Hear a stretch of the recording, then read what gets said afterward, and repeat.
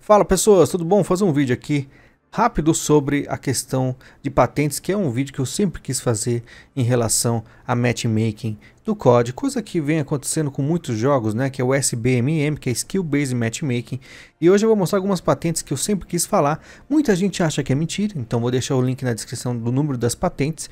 Tem muito youtuber grande, né, que são acusados de ser aí comprados pela Activision, que defende a Activision e falam que esses, as patentes não tem nada a ver com COD ou não tem nada a ver com PVP, que é PVE, entre outras aí, outros argumentos que é sempre para defender a Activision. Só que você vai ver que o negócio é muito estranho, tá? Eu vou mostrar aqui trechos das patentes, que lembrando está na descrição, vou mostrar também links de vídeos do YouTube de pessoas, de americanos.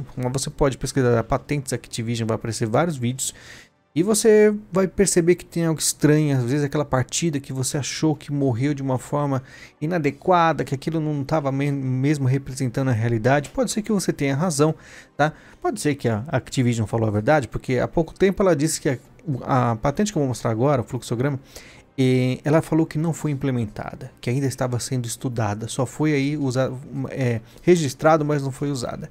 E eu vou falar aqui mais ou menos do que, que ela significa, tá? Como você pode ver na tela, você tem um fluxograma.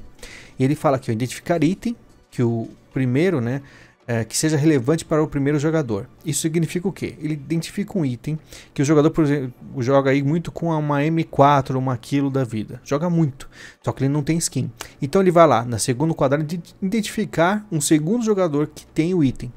Aí você faz aí um coeficiente, né?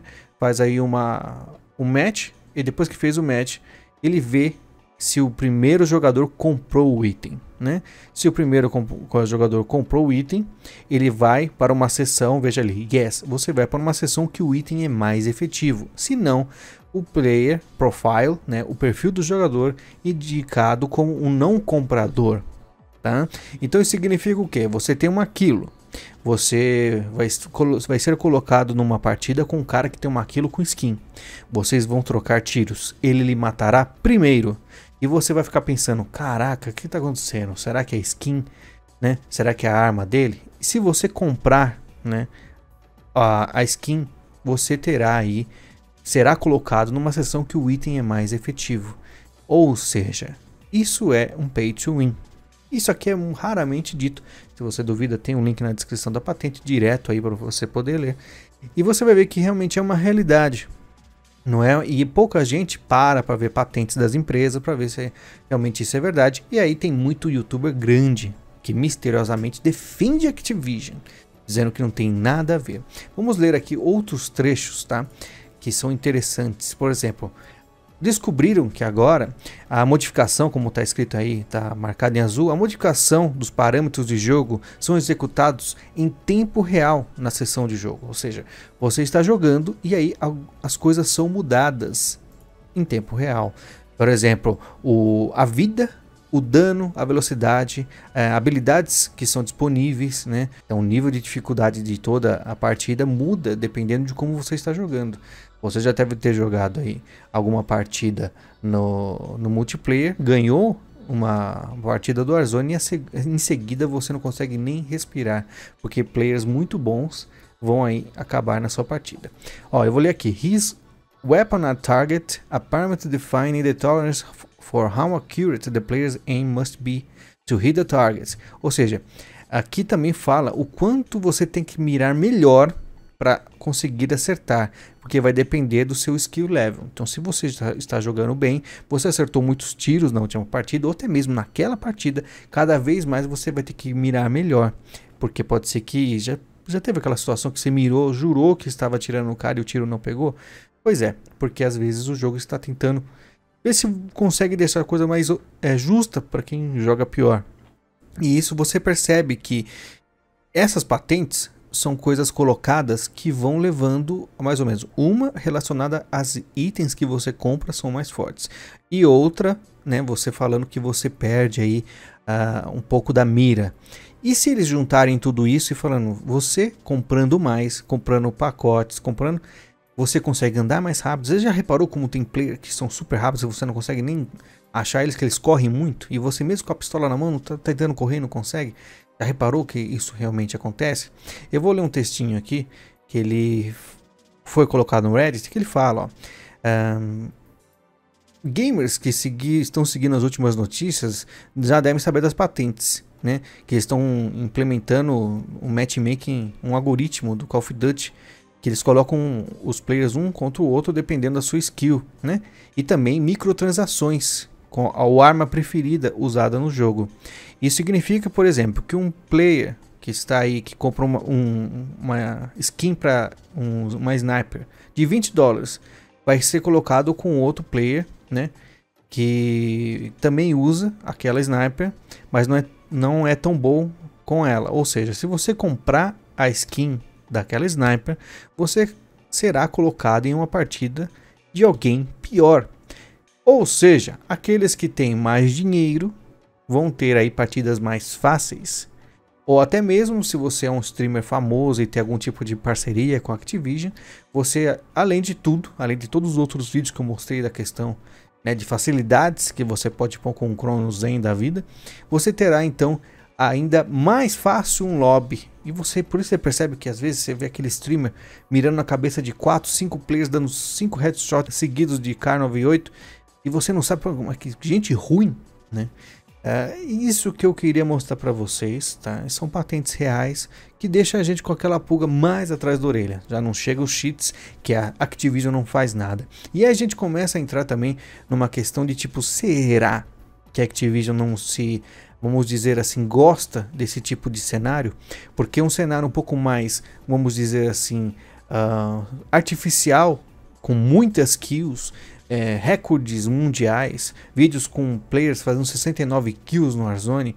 Será que isso aí não traz mais propaganda para o jogo? Empolga mais as pessoas? Sem falar que existe a questão psicológica, né, de síndrome de Estocolmo que um jogo pode gerar. Esse é assunto para outro vídeo, mas tem outro jogo que eu joguei, jogo desde 2012, tem uma parada agora porque ficou insuportável, que ele deixa você realmente preso a uma situação.